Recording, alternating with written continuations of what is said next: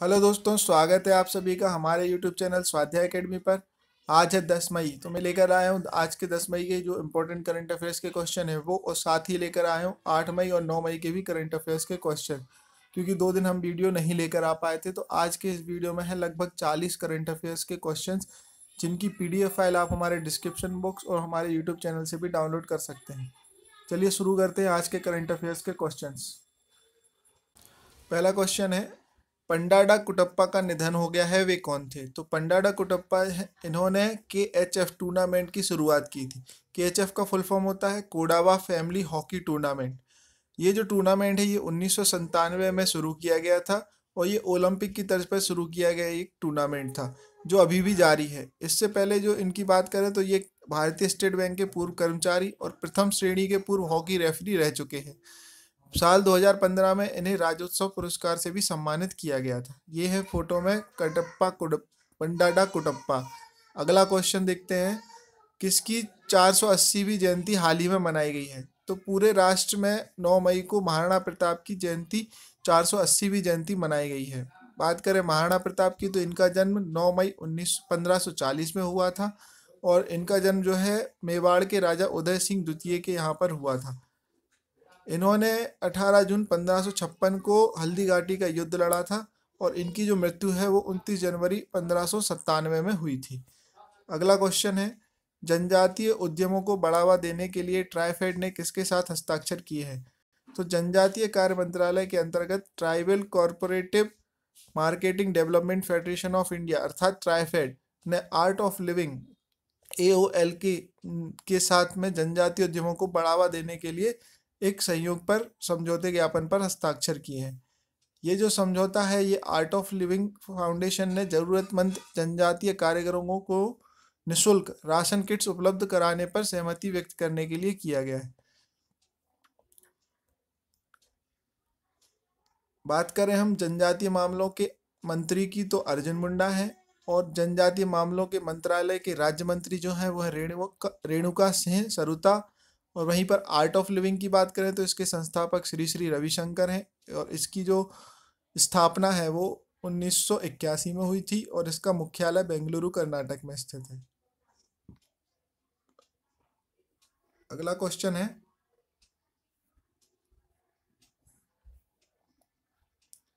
किस राज्य में पान मसाला को एक साल के लिए बैन कर दिया गया है? तो झारखंड सरकार ने राज्य में पान मसाला के 11 ब्रांडों पर एक साल के लिए प्रतिबंध लगा दिया गया है। बात करें झारखंड की तो झारखंड के मुख्यमंत्री हैं हेमंत सोरेन और झारखंड के जो राज्यपाल हैं वो है द्रौपदी मुर्मू। और यहाँ की राजधानी है रांची और इसका जो गठन हुआ था वो हुआ था पंद्रह नवंबर दो हज़ार को। अगला क्वेश्चन है आईसीएमआर ने कोविड नाइन्टीन टेस्टिंग किट की डिलीवरी के लिए किसके साथ हाथ मिला है? तो आईसीएमआर का फुल फॉर्म होता है भारतीय अनुसंधान, आयुर्विज्ञान अनुसंधान परिषद। तो जिसने अपनी कोविड नाइन्टीन टेस्टिंग किट की डिलीवरी के लिए भारतीय डाक सेवा के साथ करार किया है। इसके तहत क्या होगा कि आईसीएमआर के जो 16 क्षेत्रीय डिपो हैं, उनसे देश भर में कोरोना टेस्टिंग के लिए जो चुनी गई अतिरिक्त 200 प्रयोगशालाएँ हैं, वहाँ पर टेस्टिंग किट पहुंचाई जाएगी। बात करें आईसीएमआर की तो इसके वर्तमान महानिर्देशक हैं बलराम भार्गव और इसका मुख्यालय नई दिल्ली में स्थित है। भारतीय डाक की स्थापना एक अप्रैल पंद्रह, अठारह को हुई थी और इसका जो मुख्यालय है वो नई दिल्ली में स्थित है। अगला क्वेश्चन है, रक्षा मंत्रालय ने सैंतीस एयरफील्ड के आधुनिकीकरण के लिए किसके साथ समझौता किया है? तो रक्षा मंत्रालय ने भारतीय वायुसेना के सैंतीस हवाई अड्डों की बुनियादी ढांचों के आधुनिकीकरण के लिए टाटा पावर एस के साथ समझौते पर हस्ताक्षर किए। इस परियोजना की कुल लागत लगभग 1200 करोड़ रुपए होने का अनुमान है। ये जो परियोजना है, ये दो चरणों में पूरी होगी। जिसके पहले चरण में इंफ्रास्ट्रक्चर के आधुनिकीकरण और वायुसेना के हवाई अड्डों को अपग्रेड किया जाएगा। वहीं दूसरे चरण में नेविगेशन एड्स इंफ्रास्ट्रक्चर और अप, को अपग्रेड किया जाना है। इसके अलावा दूसरे चरण में आधुनिक एयरफील्ड उपकरण जैसे CAT two instrument landing system और एयरफील्ड लाइटिंग सिस्टम उपकरणों की स्थापना भी की जाएगी। अगला क्वेश्चन है कैलाश मानसरोवर यात्रा के लिए नए मार्ग का उद्घाटन किसने किया है? तो हमारे वर्तमान के जो रक्षा मंत्री हैं राजनाथ सिंह उन्होंने उत्तराखंड में बनाई गई 80 किलोमीटर लंबी नई सड़क का उद्घाटन किया है। ये जो सड़क है ये नियंत्रण रेखा के करीब लिपू लेक दर्रे से होकर कैलाश मानसरोवर यात्रा के लिए एक नया मार्ग खोलती है। इस सड़क का जो निर्माण है वो सीमा संग, सड़क संगठन ने किया है। ये धारचूला उत्तराखंड से लिपू लेक, चीन की सीमा तक कैलाश मानसरोवर यात्रा के मार्ग के रूप में इस सड़क को बनाने का कार्य पूरा किया गया है। बात करें हमारे वर्तमान में रक्षा मंत्रालय की तो रक्षा मंत्रालय के जो केंद्रीय मंत्री हैं वो रामनाथ सिंह हैं और राजनाथ सिंह है और इसका मुख्यालय नई दिल्ली में है और यहाँ के जो राज्य मंत्री हैं वो हैं श्रीपाद यशो नायक। अगला क्वेश्चन है भारत को कोविड नाइन्टीन आपातकालीन प्रक्रियाओं के लिए 500 मिलियन डॉलर ऋण देने की मंजूरी किसने दी है?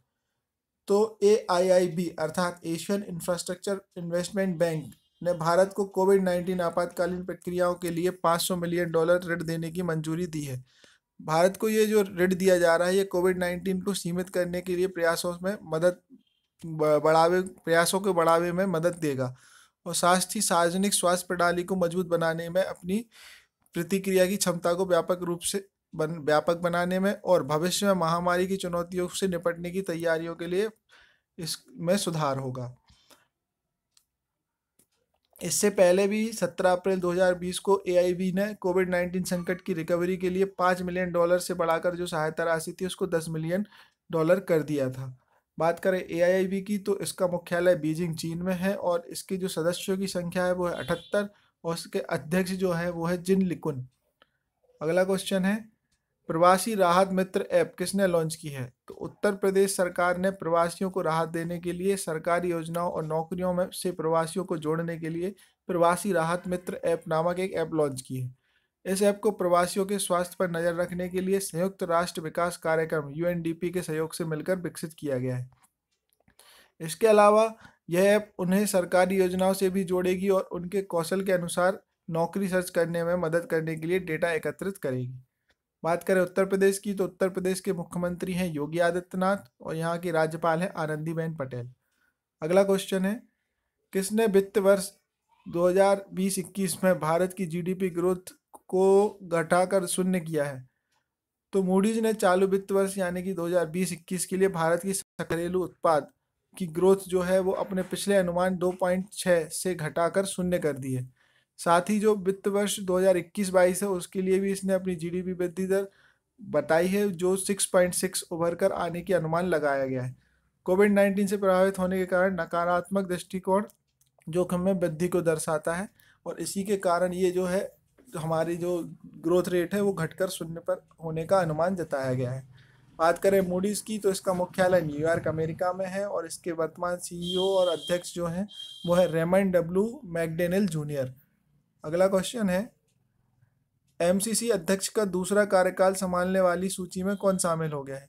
तो एमसीसी अध्यक्ष की जो दूस, दूसरा कार्यकाल संभालने वाली सूची है उसमें श्रीलंका के पूर्व कप्तान कुमार संकारा अध्यक्ष के रूप में अपना दूसरा कार्यकाल संभालेंगे। एमसीसी का फुल फॉर्म होता है Melbourne cricket club Kumar Sangakkara ने पिछले वर्ष एक अक्टूबर को ये पदभार संभाला था और वो अपने कार्यकाल को पूर्ण करने वाले सदस्य अध्यक्ष बन गए हैं। ये पहले गैर ब्रिटिश अध्यक्ष थे जिन्होंने अपना पूरा कार्यकाल कंप्लीट किया हुआ है। बात करें मेलबर्न क्रिकेट क्लब की तो इसकी स्थापन स्थापना सत्रह सौ सतासी में हुई थी और इसका मुख्यालय लंदन यूनाइटेड किंगडम में स्थित है। अगला क्वेश्चन है, भारत ने किसके साथ कोकिंग कोल के लिए समझौता किया है? तो भारत ने अभी हाल ही में रूस के सुदूर पूर्वी क्षेत्र और शेष आर्कटिक क्षेत्र में कोकिंग कोल के क्षेत्रों के लिए दो रूसी कंपनियों के साथ समझौता ज्ञापन पर हस्ताक्षर किए हैं। पहला एमओयू जो है वो रूस की far eastern agency of arctic arctic investments and supporting experts के साथ किया गया है और साथ ही दूसरा एमओयू जो साइन किया गया है, वो ईस्टर्न माइनिंग कंपनी के साथ में साइन किया गया है। इसके तहत क्या हुआ कि भारत हाइड्रोकार्बन के लिए अपने स्रोतों में विविधता लाने के प्रयास में रूम एक लंबे समय से कच्चे तेल की आपूर्ति के लिए दीर्घकालीन समझौते की मांग कर रहा था और इसी के साथ में भारत को कोयले की, पेट्रोलियम की जो सप्लाई है, वहाँ से होती रहेगी। बात करें कोल इंडिया की तो इसका मुख्यालय कलकत्ता में है और इसके सीईओ जो हैं, वो है अनिल कुमार झा। अगला क्वेश्चन है, विश्व प्रवासी पक्षी दिवस कब मनाया गया है? तो हर साल 9 मई को दुनिया भर में world migrate migratory bird day मनाया जाता है, यानी कि विश्व प्रवासी दिवस। इस दिन को मनाए जाने का उद्देश्य प्रवासी पक्षियों के बारे में जागरूकता बढ़ाना है और उनके संरक्षण के लिए अंतर्राष्ट्रीय सहयोग को महत्व देने के बारे में जागरूक बनाना है। इस वर्ष की जो थीम थी, वो थी words connect our world theme क्या थी? वर्ड्स कनेक्ट अवर वर्ल्ड अगला क्वेश्चन है, किस राज्य सरकार ने सेवानिवृत्ति की आयु को बढ़ाकर 59 वर्ष कर दिया है? तो तमिलनाडु सरकार ने सरकारी कर्मचारियों, शिक्षकों और सार्वजनिक क्षेत्र की इकाइयों में काम करने वाले कर्मचारियों की, जो सेवानिवृत्ति की आयु 58 वर्ष थी, उसको बढ़ाकर 59 वर्ष कर दिया है। इस फैसले के बाद जो लोग इस साल 31 मई को सेवानिवृत्त होने वाले थे, वे अब 31 मई 2021 को सेवानिवृत्त होंगे। बात करें तमिलनाडु की तो तमिलनाडु के वर्तमान जो मुख्यमंत्री हैं, वो है थेरू एडप्पी के पलानी स्वामी और यहाँ के जो राज्यपाल हैं, वो है बनवारी लाल पुरोहित। अगला क्वेश्चन है, विश्व थैलेसेमिया दिवस कब मनाया गया है? तो हर साल आठ मई को विश्व स्तर पर वर्ल्ड थैलेसेमिया डे, यानी कि विश्व थैलेसीमिया दिवस मनाया जाता है। यह दिन थैलेसेमिया रोग की रोकथाम करने के उपायों ट्रांसमिशन से बचने और बच्चों के स्वास्थ्य के लिए ज़रूरी टीकाकरण के महत्व के बारे में समाज और दुनिया भर के लोगों में जागरूकता फैलाने के लिए मनाया जाता है। इस वर्ष की थीम की बात करें तो इस वर्ष की थीम है the dawning of a new era for thalassaemia. Time for a global effort to make novel therapies accessible and affordable to patients. इस वर्ष की थीम क्या है? The dawning of a new era for thalassaemia time for a global effort to make novel therapies accessible and affordable to patients अगला question है, आयुष संजीवनी app का शुभारंभ किसने किया है? तो अभी हमारे वर्तमान के केंद्रीय स्वास्थ्य परिवार कल्याण मंत्री डॉक्टर हर्षवर्धन ने हाल ही में कोविड नाइन्टीन के उपचार के लिए आयुष आधारित आयुर्वेद से जुड़ी पद्धतियों पर क्लिनिकल रिसर्च स्टडीज़ और आयुष संजीवनी एप्लीकेशन का शुभारंभ किया है। यदि बात करें आयुष की तो इसका फुल फॉर्म होता है आयुर्वेद, योगा, प्राकृतिक चिकित्सा, यूनानी, सिद्धा और होम्योपैथिक और ये जो आयुष मंत्रालय है और इसके साथ में इलेक्ट्रॉनिक्स और सूचना प्रौद्योगिकी मंत्रालय है, इन दोनों ने मिलकर ही इस ऐप को विकसित किया है। और इनका जो लक्ष्य है वो लगभग पचास लाख लोगों का डेटा जुड़ा, जोड़, जुड़ाने का इनका लक्ष्य है।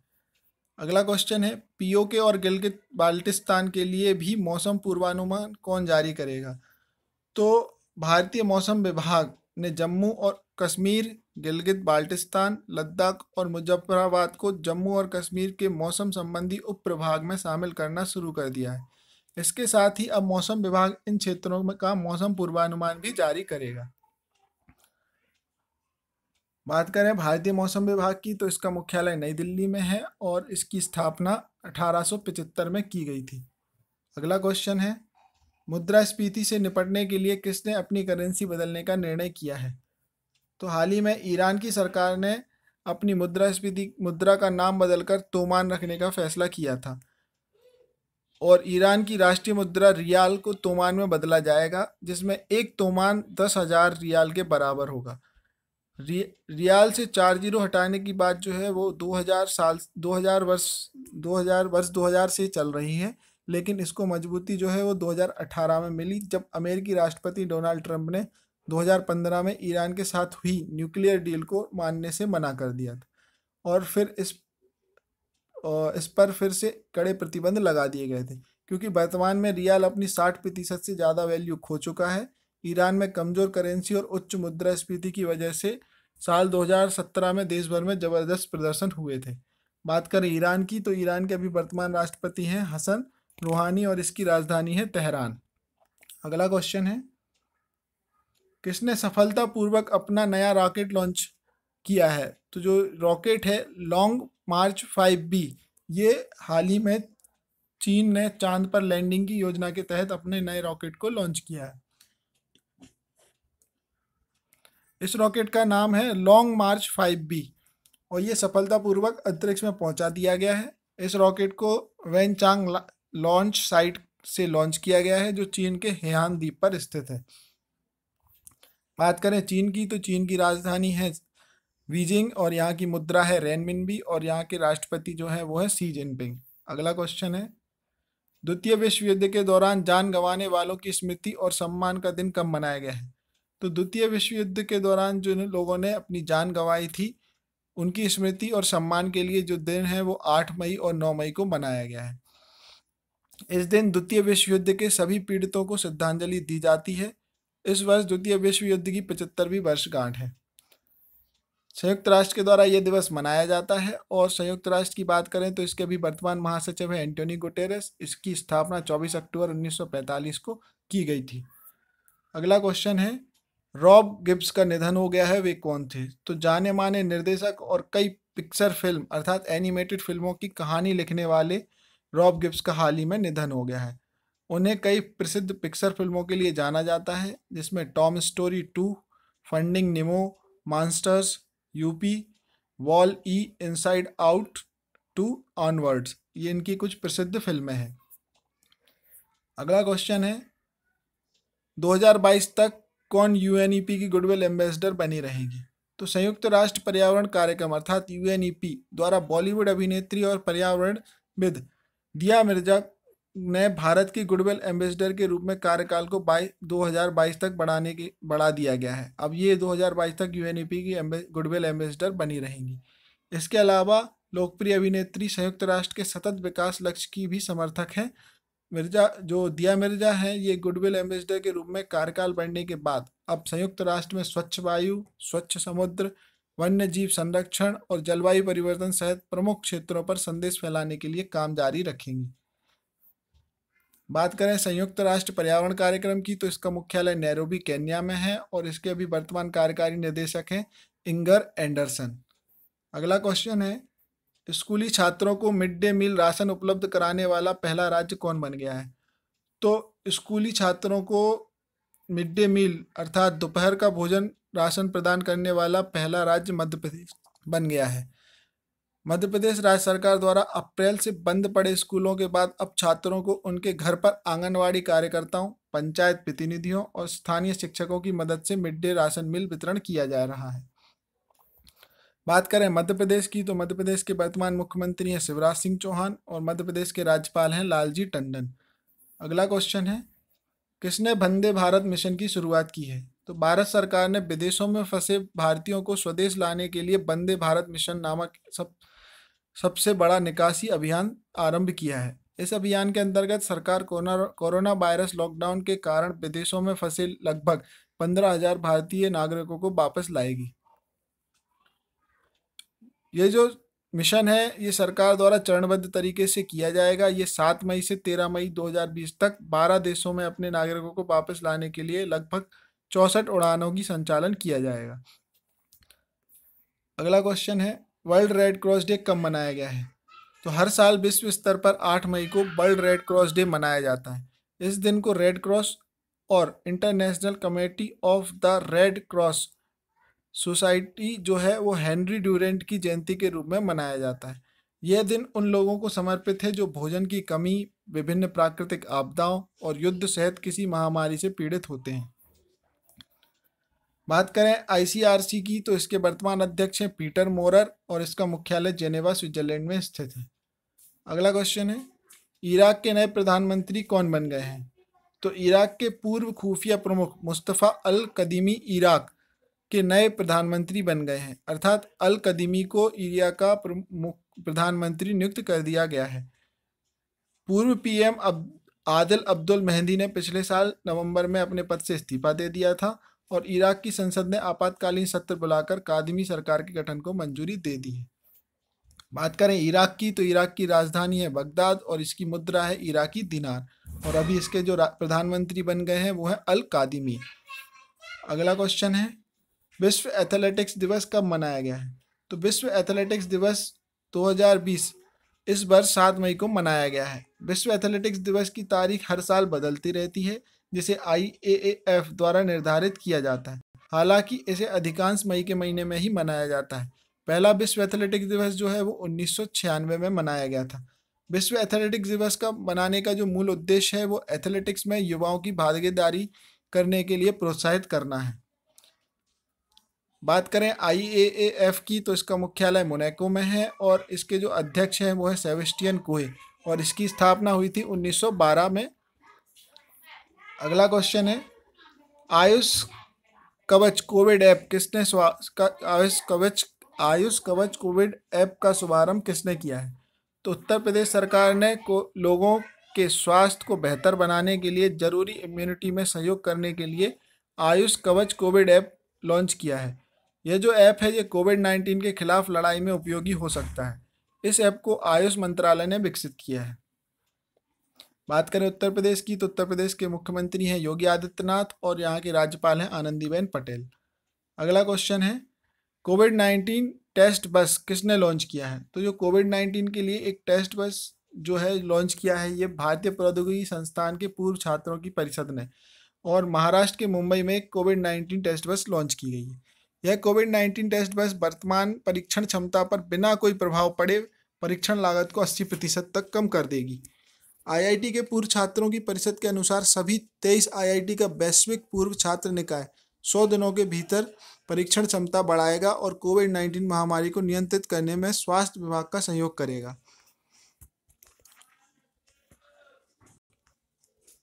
अगला क्वेश्चन है, भारत डायनेमिक्स लिमिटेड ने किसके किफ़ायती वेंटिलेटर बनाने के लिए समझौता किया है? तो आईआईटी कानपुर और भारत डायनेमिक्स लिमिटेड ने किफ़ायती वेंटिलेटर बनाने के लिए एक समझौते पर हस्ताक्षर किया है। बात करें भारत डायनेमिक्स का प्रधान कार्यालय की तो यह हैदराबाद, तेलंगाना में है और इसके एमडी और सीईओ जो है, वो है सिद्धार्थ मिश्रा। अगला क्वेश्चन है पुनः इस्तेमाल किए जाने वाले पीपीई किट के लिए आईआईटी दिल्ली के साथ किसने समझौता किया है?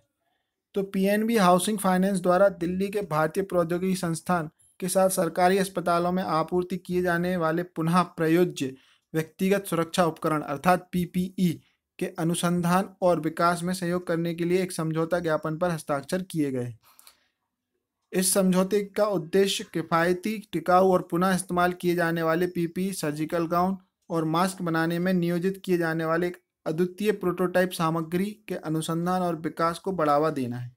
इन स्थायी पीपी, सर्जिकल गाउन और मास्क के सूचीबद्ध सरकारी अस्पतालों में आपूर्ति की जाएगी। बात करें पीएनबी हाउसिंग फाइनेंस लिमिटेड की तो इसके सीईओ हैं नीरज ब्यास। अगला क्वेश्चन है, किसने सुरक्षित दादा दादी और नाना नानी अभियान लॉन्च किया है? तो नीति आयोग ने वरिष्ठ नागरिकों के लिए लॉन्च किया है ये सुरक्षित दादा दादी और नाना नानी अभियान। बात करें नीति आयोग की तो नीति आयोग के वर्तमान अध्यक्ष राजीव कुमार हैं और नीति आयोग के सीईओ जो हैं वो है अमिताभ कांत। किसकी एक जयंती के उपलक्ष्य में वर्चुअल कार्यक्रम का आयोजन किया गया है? तो हाल ही में राष्ट्रीय आधुनिक कला संग्रहालय ने गुरुदेव रविन्द्रनाथ टैगोर टैगोर की एक सौ उनसठवीं जयंती के उपलक्ष्य में एक के उपलक्ष्य में एक वर्चुअल कार्यक्रम का आयोजन किया है। इस वर्चुअल टूर का शीर्षक जो है वो Gurudev journey of a maestro through his visual vocabulary. शीर्षक क्या है? Gurudev journey of the maestro through his visual vocabulary रखा गया है। इस वर्चुअल कार्यक्रम में बहुमुखी प्रतिभाशाली कलाकारों द्वारा बनाई गई 102 कलाकृतियों को झलक पाने का अवसर मिलेगा। बात करें रविंद्रनाथ टैगोर की तो ये प्रसिद्ध कवि, उपन्यासकार और चित्रकार थे। वह अपने उपन्यास गीतांजलि के लिए 1913 में साहित्य का नोबल पुरस्कार से सम्मानित होने वाले पहले भारतीय थे। इसके अलावा उन्होंने भारत और बांग्लादेश का राष्ट्रीय गीत भी लिखा हुआ है। राष्ट्रीय आधुनिक कला संग्रहालय की बात करें तो इसके महान निर्देशक हैं अद्वैत चरण गढ़नायक। अगला क्वेश्चन है, निगाह कार्यक्रम किसके द्वारा शुरू किया गया है? तो हिमाचल प्रदेश सरकार एक नया कार्यक्रम निगाह शुरू करने की योजना पर काम कर रही है। इस कार्यक्रम के तहत सरकार देश के अन्य हिस्सों से राज्य में आने वाले लोगों के परिवारों के सदस्यों को शिक्षित करेगी। इस कार्यक्रम में आशा कार्यकर्ताओं, स्वास्थ्य और आंगनवाड़ी कार्यकर्ताओं की तैनाती की जाएगी ताकि वे घर में क्वारंटाइन रहने के दौरान सोशल डिस्टेंसिंग को दूर बनाए रखने के लिए सामान्य जागरूकता पैदा कर सकें, जिससे उन्हें किसी भी संभावित संक्रमण जोखिम से बचाया जा सके। बात करें हिमाचल प्रदेश की तो इसके मुख्यमंत्री हैं जयराम ठाकुर और यहाँ के राज्यपाल हैं बंडारू दत्तात्रेय। अगला क्वेश्चन है, Vijyant at Kargil the life of a Kargil hero नामक पुस्तक के लेखक कौन है? तो Vijyant at Kargil the life of a Kargil hero नामक पुस्तक के जो लेखक हैं, वो हैं विजयंत के पिता कर्नल बी एन थापर और नेहा द्विवेदी। ये जो पुस्तक है, इसका विमोचन किया गया है अभी हाल ही में और यह पुस्तक वीर चक्र पुरस्कार विजेता कैप्टन विजयंत थापर की जीवनी पर लिखी गई है।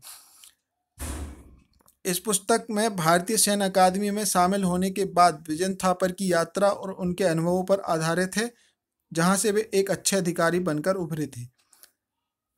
अगला क्वेश्चन है पीएसी के अध्यक्ष कौन बनाए गए हैं? तो लोकसभा में कांग्रेस के नेता अधीर रंजन चौधरी को पुनः संसद की लोक लेखा समिति अर्थात parliament public account committee PAC का अध्यक्ष नियुक्त किया गया है। उन्हें लोकसभा अध्यक्ष ओम बिरला द्वारा समिति के अध्यक्ष के रूप में दोबारा नियुक्त किया गया है। बात करें पीएसी की अर्थात लोक लेखा समिति की तो यह बाईस सदस्यीय एक समिति होती है, जिसमें पंद्रह लोकसभा सदस्य और सात राज्यसभा के सदस्य एक वर्ष के लिए निर्वाचित किए जाते हैं। अगला क्वेश्चन है श्रम ब्यूरो के महानिर्देशक का कार्यभार किसने तो भारतीय आर्थिक सेवा अधिकारी डीपीएस नेगी ने श्रम एवं रोज़गार मंत्रालय में श्रम ब्यूरो के महानिर्देशक का कार्यभार संभाला है। इसके अलावा नेगी ने मंत्रालय के वरिष्ठ श्रम और रोज़गार सलाहकार का भी पद ग्रहण किया है। ये उन्नीस बैच के भारतीय भारतीय आर्थिक सेवा अधिकारी हैं। इस नए कार्यभार को संभालने से पहले नेगी सलाहकार वित्त के रूप में भी कार्यरत थे। बात करें श्रम और रोज़गार मंत्रालय की तो इसका मुख्यालय नई दिल्ली में है और इसके राज्य मंत्री स्वतंत्र प्रभार जिनके लिए है, वो है संतोष गंगवार। अगला क्वेश्चन है आरबीआई केंद्रीय बोर्ड के नए निर्देशक किसे नियुक्त किया गया है? तो आर्थिक मामलों के सचिव तरुण बजाज को भारतीय रिज़र्व बैंक के केंद्रीय बोर्ड का नया निर्देशक बनाया गया है। उनकी नियुक्ति भारत सरकार द्वारा मंजूरी की गई है। वह उन्नीस सौ अठासी बैच के आई अधिकारी हैं। वह अतुल चक्रवर्ती की जगह लेंगे। जो 30 अप्रैल को सेवानिवृत्त हुए थे। बात करें आरबीआई की तो इसका मुख्यालय मुंबई, महाराष्ट्र में है और आरबीआई के गवर्नर जो हैं वो अभी वर्तमान में शक्तिकांत दास हैं। अगला क्वेश्चन है, बैसाख दिवस कब मनाया गया है? तो इस वर्ष सात मई को विश्व स्तर पर बैसाख दिवस, अर्थात बैसाख दिवस मनाया गया है। बैसाख दिवस जो है वो बैसाख बुद्ध पूर्णिमा का दिन है और ये दुनिया भर में बुद्धों द्वारा सबसे पवित्र दिन माना जाता है। इसी दिन क्या हुआ था कि भगवान गौतम बुद्ध को आत्मज्ञान की प्राप्ति हुई थी। हर साल संयुक्त राष्ट्र द्वारा इस दिवस को मनाया जाता है। अगला क्वेश्चन है C H D COVID app किसने लॉन्च किया है? तो चंडीगढ़ प्रशासन ने कोविड नाइन्टीन से संबंधित जानकारी उपलब्ध कराने के लिए सी एच डी कोविड नामक एक नया मोबाइल ऐप लॉन्च किया है।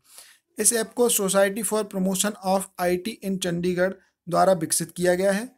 ऐप एक सिंगल प्लेटफॉर्म के रूप में कार्य करेगा। जहाँ राज्य के नागरिक, प्रशासन और भारत सरकार द्वारा जारी किए गए दिशा, सभी दिशा निर्देश, आदेशों और सूचनाओं के बारे में जान सकते हैं। बात करें चंडीगढ़ की तो यहाँ के उपराज्यपाल हैं बीपी सिंह बदनौर। अगला क्वेश्चन है, विशाखापट्टनम गैस रिसाव त्रासदी में कौन सी गैस का रिसाव हुआ है? तो विशाखापट्टनम गैस रिसाव जो त्रासदी है, ये आंध्र प्रदेश के विशाखापट्टनम में स्थित एलजी पॉलीमर प्लांट में स्टेरीन गैस के रिसाव के कारण ये दुर्घटना घटित हुई है। ये प्लांट जो है वो विशाखापट्टनम के तटीय शहर, शहरी इलाके से लगभग पंद्रह किलोमीटर दूर स्थित है। रिसाव का कारण स्टोरेज टैंक के अंदर तापमान में हुए परिवर्तन को बताया जा रहा है। तो ये थे आज के करंट अफेयर्स के इंपॉर्टेंट क्वेश्चंस इसकी पीडीएफ फ़ाइल आप हमारे टेलीग्राम चैनल और हमारे वीडियो के डिस्क्रिप्शन से डाउनलोड कर सकते हैं। यदि आपको हमारा वीडियो अच्छा लगा तो इसे शेयर और लाइक ज़रूर करें और यदि आपने अभी तक हमारे चैनल को सब्सक्राइब नहीं किया है तो प्लीज़ हमारे चैनल को भी सब्सक्राइब करें। धन्यवाद।